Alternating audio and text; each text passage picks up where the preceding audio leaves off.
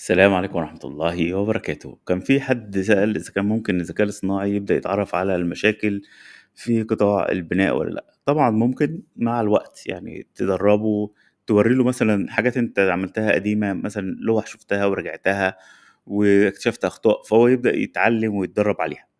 يعني هو الفكرة كلّها إن مثلًا في المجال الطبي هو تقدّم في تشخيص الأمراض والتنبؤ بالمشاكل قبل حدوثها، نتيجة إن هو شاف تقارير طبية كتير، فنفس الفكرة في قطاع البناء.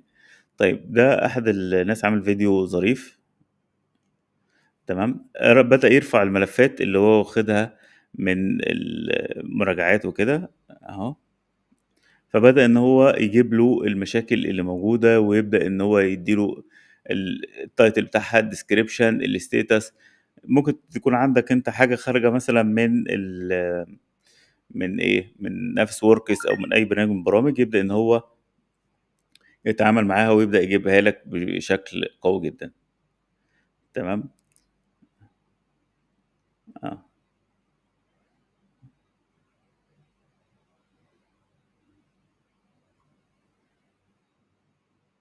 دي المشاكل اللي موجودة اللي مرتبطة بACC أو Autodesk Construction Cloud أو كان زمان اسمه BIM 360 أهي.